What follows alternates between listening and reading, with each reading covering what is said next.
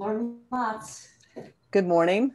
I'm Nancy Macklin from PMA, and I am honored to introduce you to Pedro Calero of PC Construction Group, our sponsor for today's session. Ask Me Anything, operations. I know it says maintenance there, but it's operations. Pedro will also be here for uh, the maintenance session later on today. Okay, Pedro. Hello, my dear. Hello, everybody. Uh, Hello.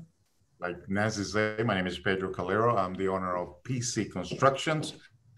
And uh, welcome to the PM Expo 2020. Ask me anything operation. Today, uh, esteemed speaker is Rick Lowman, Director of Engineering of Stout and Teague. Welcome, Rick. Thank you. It's nice to meet you. Rick has a wealth of knowledge uh, and experience across all aspects of commercials and residential engineering and facility manager. Rick has also served honorably the United States Air Force.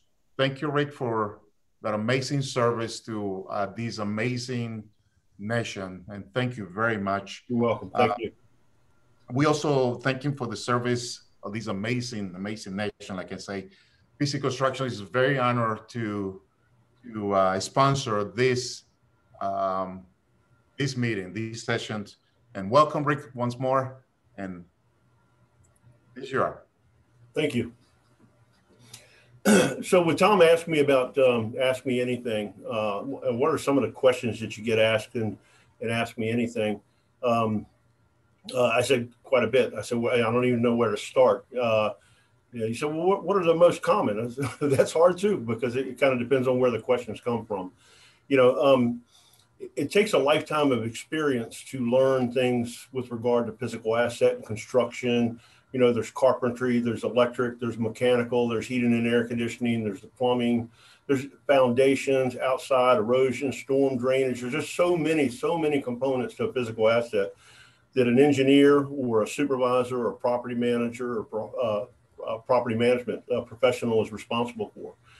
They lean heavily on their, um, uh, you know, their their contractors and, and partners and vendors, uh, things like that for resources. Uh, you also use resources with uh, regard to the internet is just incredible. I, I, I, hardly a day goes by that I don't use the internet as a resource myself. Um, you know, but uh, along with the partners, you know, you're you're talking to folks who are who are your um, uh, partners within the same company. You know, and, and the key is asking questions. You know, so when Tom you know, talked to me about um, uh, doing this thing, ask me anything, it, it made perfect sense because uh, one of the things that uh, that is important for a property management professional is to ask a lot of questions when you start getting into a project.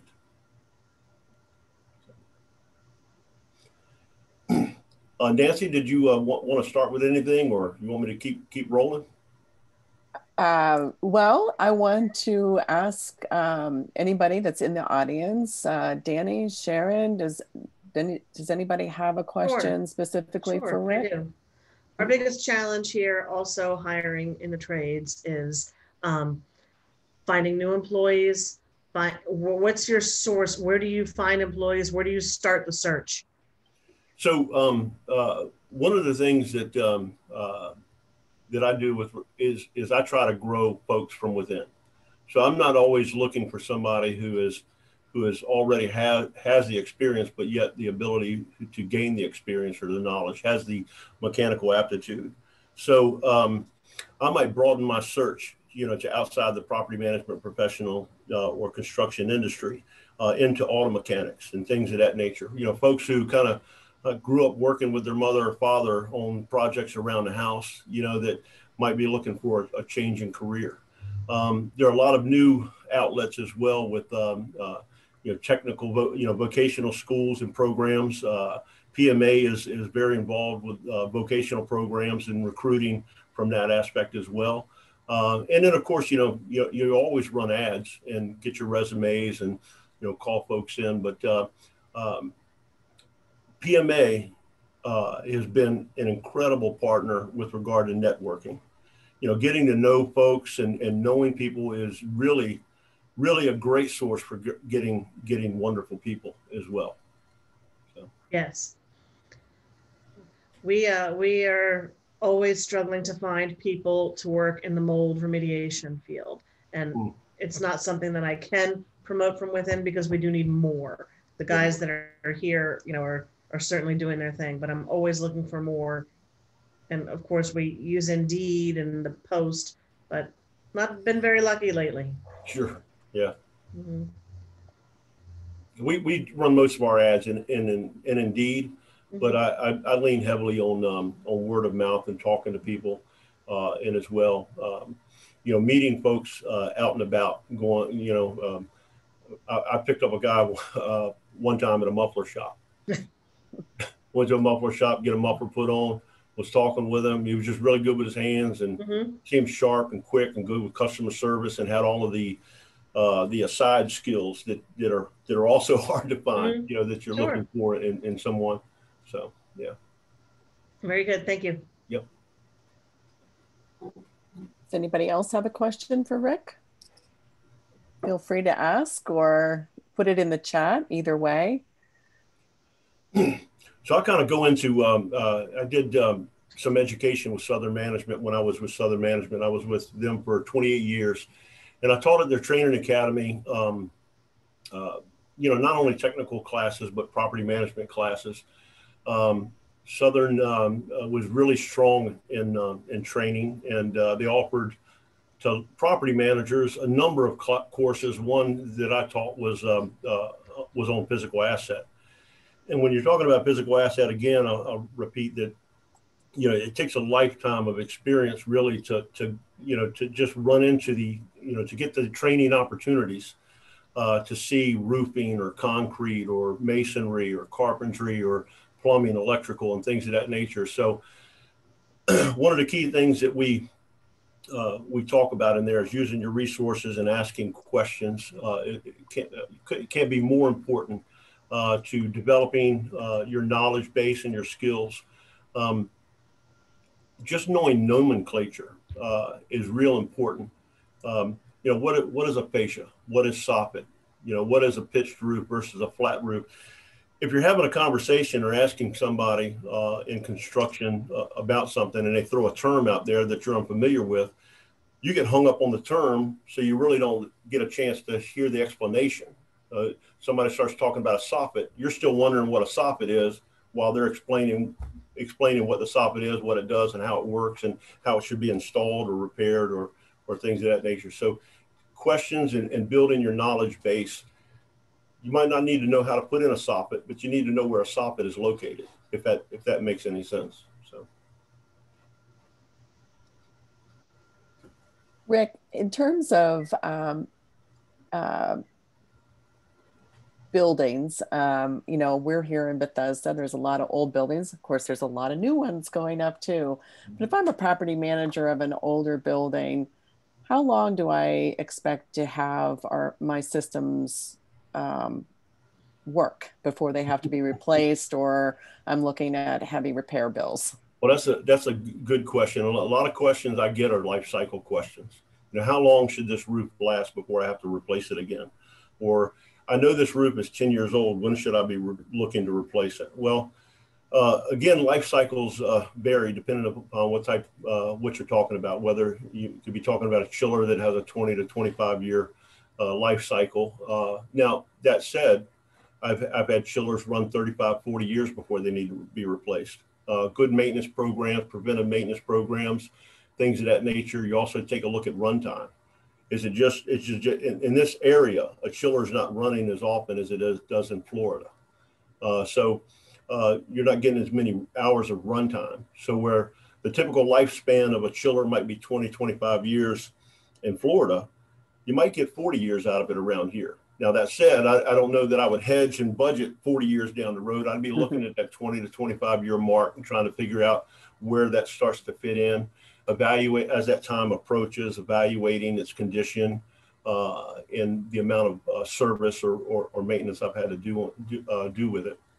Uh, same thing with roofs. Uh, uh, flat roofs um, and pitch roofs are different. You know, pitch roofs, depending upon how much weather or sun it takes I've, I've seen pitch roofs last well beyond the life of the shingle. The shingle might be a 35 year shingle, 40 year shingle, but the pitch roof might last even longer than that if it's um, uh, not getting a whole lot of uh, weather uh, with regard to sun and and uh, degrading the um, the material and stuff. So using my my professionals really is where I go to on that. So if I'm if I'm looking at my roofs and evaluating, I'm a property manager and I'm not real familiar with all of those things, I would bring in the professionals and the partners that I work with, whether it be the roofing contractor or PC construction or, or Toper construction, and talk to them about, you know, how long should I, you think I should get, you know, with regard to this particular uh, product or item.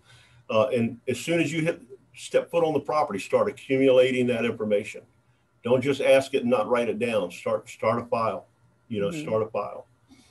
Uh, one thing that I found we do uh, quite a bit of with regard to uh, refinancing in residential, and is a great resource for that information, uh, as well as um, a resource we use in commercial, is um, uh, is when they they you know take a look at your entire property and your community and they do they perform an inspection the mortgage company sends out inspectors perform inspections and they start documenting you know this roof is this age suspect it might need to be replaced within the next five or 10 years. So you can pull out uh, a lot of that information from those uh, mortgage inspections as well. Mm-hmm. Thank you. That was a yeah. that was a good answer. um, does anybody else have a question for Rick? We've got several people in here. Don't be shy. Go ahead and turn your mic on and um, ask away. Um, or you can also post your question in the chat. Um, so if I'm if I'm looking at um, you know an HVAC system or something else that might last several years, am I going to run into problems with obsolete parts? Um, might that be a signal as to when I need to replace something? Well, yeah. And can you talk a little bit too about um, getting bids for um, repair or replace, how, how to evaluate those. Yeah, absolutely. So um, we're talking about um, uh, obsolete components. Uh, quite often a decision is made to budget for something to be replaced just simply because of the availability of, of parts. Um, uh, and you'll, you, know, you might have somebody uh, say, well, you know, we, we can't get, get that, um, that circuit board any longer uh, or that relay any longer. always trust but verify. It's just, it's a, you know, I learned that from a mentor of mine. Uh, trust but verify goes with, with regard to a lot of things. So when somebody tells you that, um, great. Okay. Well, thank you very much for the information, but then start digging, start finding. I found a lot, a number of items that I did not have to replace because I was able to find the parts or the components after a little bit of research. It's not that the person was untruthful with me. They, that's just what they, they, they believe to be true. Um, uh, that that's happened with uh, boilers. It's happened with chillers.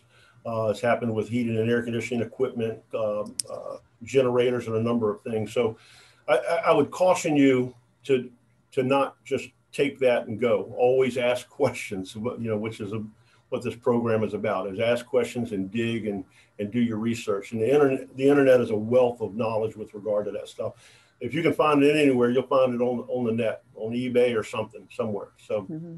anyway, um, um, I, I, would take a look at. Uh, so we did a reserve study on a property recently, uh, which went under a massive renovation um, 20 years ago, and of course everything is coming to the end of its life cycle as it's documented. So you know one of the things the property manager asked me is, does this mean we have to replace all of this stuff within the next two or three years? I said, no, not really. Let's start pulling these pieces out and looking at the things that we really ought to target. Uh, we also too take an evaluation and look with regard to budgeting, you know, maintenance expenses and um, and uh, and repair expenses that we've had over the last five years. So one of the first things you you you do is is an accounting research. Quite frankly, start trying to find out where your money's been going you know, um, to start identifying where your priorities are. Um, if the money that you spent, you know, did that lengthen the life of that a piece of equipment, or was this, that just a stopgap for the moment? You know, so we take a look at all of those items uh, and then um, and then and then put out a plan. you know, quite frankly, you can't spend, uh, well, in this particular case, I can't spend $20 million to renovate this property, you know, all at the same time like we did 20 years ago. Uh, so we need to start phasing things in. So in this particular case, we just started parsing and pulling things out. We're looking at boilers and then the chillers within the next two years after that. We started looking at components that we could um, we could lengthen the life of, like you know by making sure we have good preventive maintenance programs in place, uh, fan coil units and the small the smaller uh, pieces of equipment that can be repaired um, for not as much expense, like replacing a fan motor in a fan coil unit or an air handler or something like that to lengthen the life of it, uh, making sure that the filters are changed, the units are cleaned and, and maintained so that uh, uh, we can do those as we do a renovation within a space. So um, you really want to take a take a holistic approach as far as looking at it and then start paring it down into items that you can really comprehend and work with and create a priority list. Does that help? Yeah, absolutely. Um, uh, Sharon mentioned the difficulty in finding uh, employees to work in the mold and remediation uh, business. And so, on the flip side of that, why am I having so many mold issues or moisture issues, leaks, that kind of thing?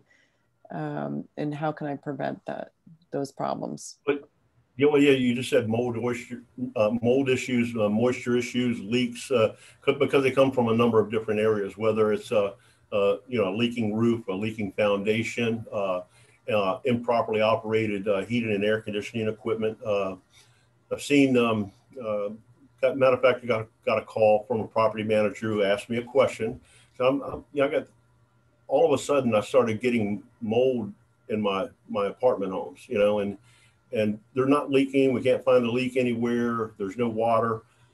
Well, come to find out, um, they had replaced a handful of air conditioners and they had increased the size of the air conditioner because traditionally they had had trouble cooling these these apartments, these top floor apartments and ground floor apartments that were three bedrooms and stuff. So they upsized the air conditioner. The problem was the air conditioner short cycled. They turned on, cooled the place, and turned it right off they weren't dehumidifying the home, the apartment home. So um, that's where the in that particular case, that's where the moisture was coming from. So the key is obviously start start digging into you know where the where the moisture is coming from, polling your experts and asking questions, and determine is it is it humidity, is it an actual leak, is it a combination of the two? So you're taking on a leak, but then you're not removing that moisture. Um, I was um, uh, partner that I worked with uh, on a foundation uh, issue one time, uh, it was, um, uh, you know, they, they, always, the first thing you do is, what are we doing to get the water away from the building? Sure, you might have a leaking foundation. Let's find out what, where that leak in the foundation is. But first, let's let's look at the the, the low cost, no cost things. The the small items like like your gutters getting those down uh, downspouts piped out to where you get the water away from the building uh, uh, drip edges that are not in place, so water is hitting right at the foundation and have a chance to run right back into the building. So uh, it, it's real key to to start looking and, and paring that down as well. Um, okay. Yeah. I hate to hog the conversation. Doesn't anybody have a question for Rick? Feel free to just speak up, turn your mic on, and um, and ask a question. I um, I'm fascinated by all the these uh, questions and answers. So don't let me be the only one uh, getting my questions answered. Um, so um, I don't live in an apartment now, but I when I did, I, it seemed like there was always, you know, heating and air conditioning problems. It was an older building. Um, can you talk a little bit more about from an operation standpoint about handling those complaints. Um, seems like you know part of the building's really hot, part of the building's really cold. Um, right. You know, and then maybe talk a little bit about you know we're heading into uh, winter months. How how I'm going to prepare my my property to be ready. Sure, absolutely. So um, uh, one of the things, uh, kind of going back to what I talked about a while ago about upsizing an air conditioner, for instance, um, is if, if, you can lay your hands on any as-built plans for the property. Uh, any what the engi- you know, the engineers went to school for a long time to be able to uh, do the calculations necessary to decide what size air conditioner goes into a home based on the square foot to get the proper run time, to reduce the humidity, to remove the heat, to cool efficiently, heat efficiently, things of that nature. Uh, and um, I've not yet run into a set of plans where somebody has is not engineered the property properly. So, so find those plans and then and then work from there and then work off off of those plans. If you have, if it says that you're supposed to have a 2,000, uh, I'm sorry, a two-ton unit in the third floor two-bedroom apartment home, that's probably what you're supposed to have. And if that's what's in there, uh, there's if it's not cooling, there's something else wrong start digging into, you know, the unit is not working the way that it should be working as efficiently as it should be working. Mm-hmm. Uh, the fan motor is not moving enough air. I have seen where, uh, you know, they they run into construction and they ran out of room for duct work and they shrunk the duct work. So the engineer was right in the size of the duct work, the size of the unit was right, but they shrunk the duct work. So now the unit's not moving enough air. So if it's not moving enough air, you've essentially reduced the capacity of that air conditioner. So, you know, research and digging and and and and, and looking and inspecting is very very critical to to to finding out when you have those one-off problems or handful of problems. And also too, I, I would say be careful of arguing the unusual to the norm.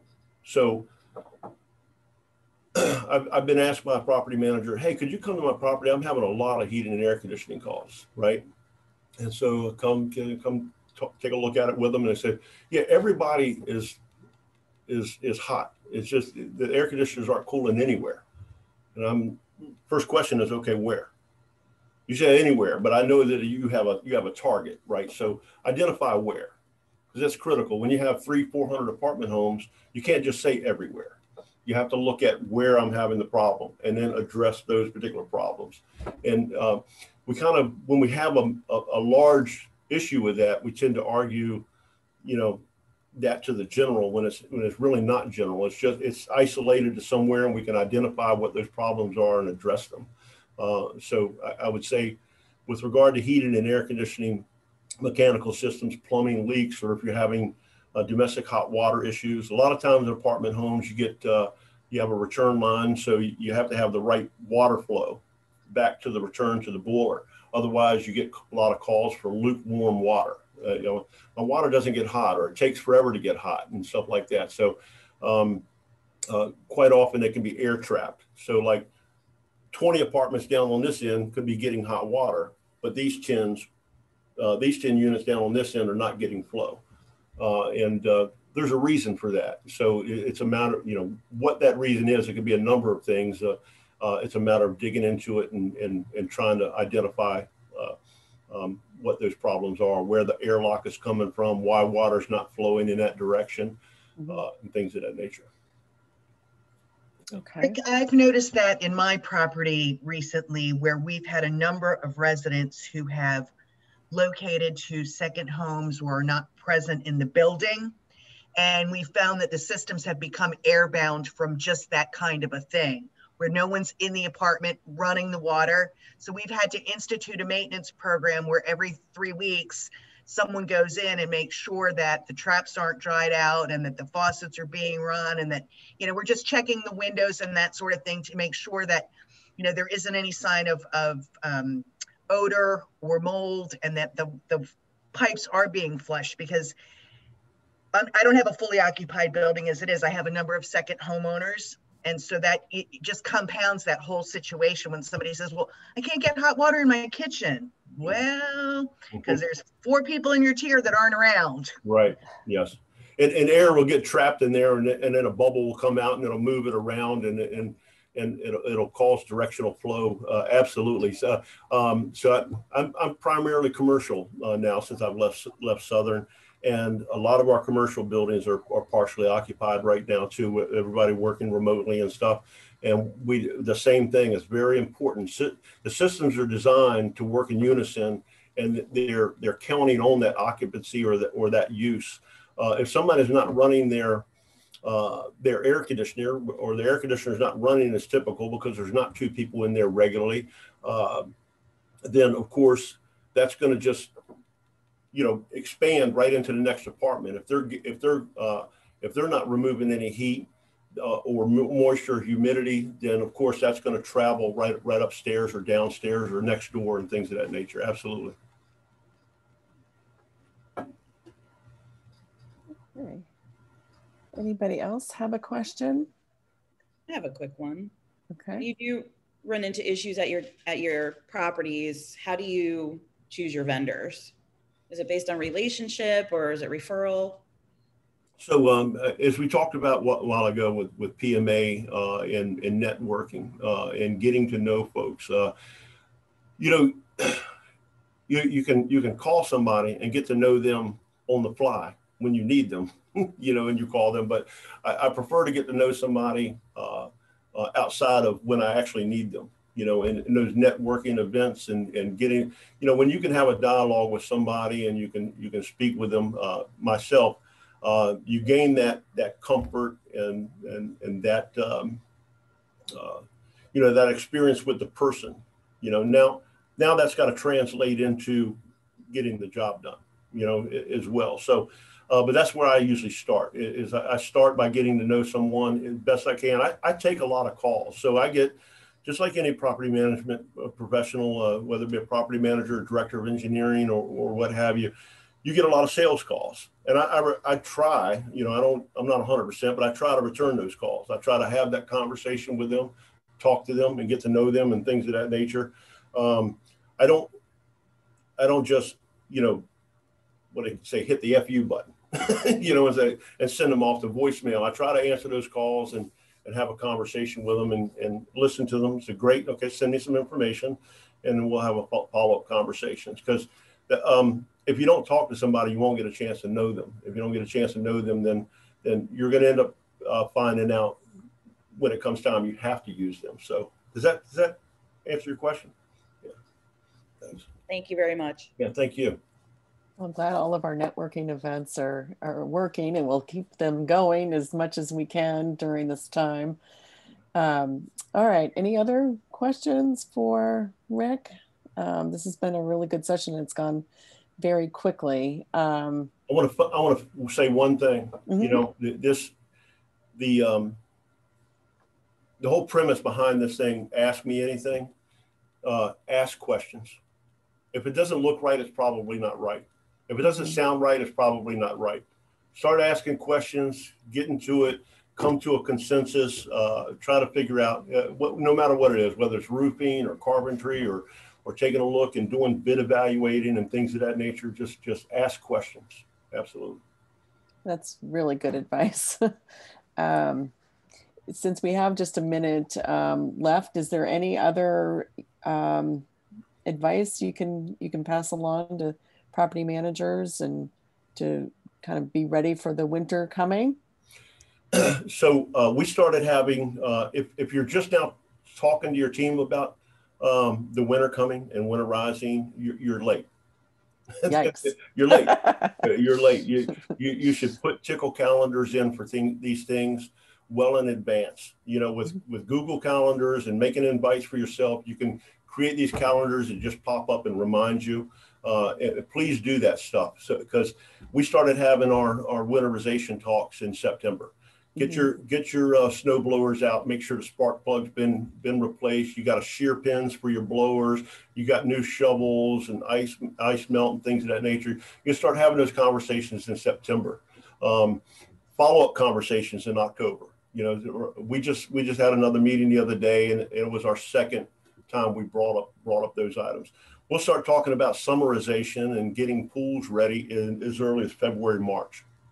You know, so you really you want to be ahead of the game with regard to that because now you're, you're communicating that to your team. Then your team's got to figure out how to fit that into the schedule. So right. just get out in front of it. It's it's not too early uh, to talk about freezing pipes in September. It's really not. Okay. All right, good advice. Well, thank you very much, uh, Rick. This has been a very informative session, and thank you again to Pedro Calero of PC Construction Group for sponsoring the session. Thanks, everybody. Enjoy PM Expo. Bye. Thank you. Bye-bye. Thank you.